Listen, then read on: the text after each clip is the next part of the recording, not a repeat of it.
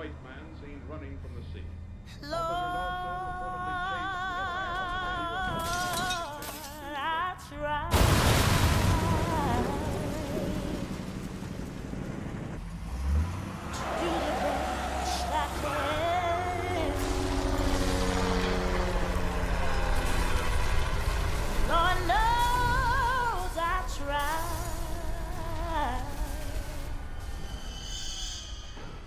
to help my fellow man.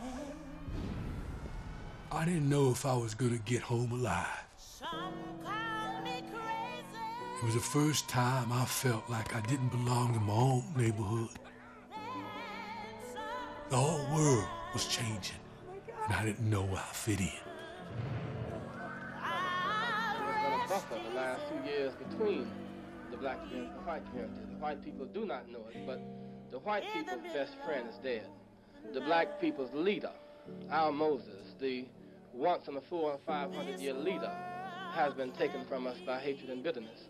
Even as I stand at this hour, I, I cannot even allow hate to enter my heart at this time, for it was sickness, not meanness, that killed him.